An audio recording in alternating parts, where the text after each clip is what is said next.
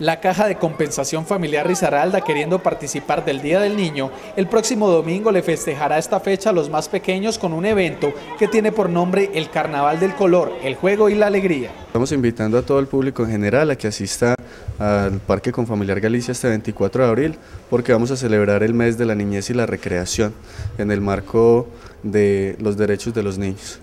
Los menores de 12 años que estén acompañados de un adulto podrán ingresar gratis al Parque Confamiliar Galicia y disfrutar de un espectáculo al estilo de los mejores circos del mundo. La que tenemos eh, la denominamos el Festival de, del Color y la Alegría. Eh, va a ser una puesta en escena de artes circenses, eso quiere decir que vamos a tener malabaristas, vamos a tener zanqueros, vamos a tener lanzallamas, monociclo, eh, magia, casi que todos los espectáculos del circo.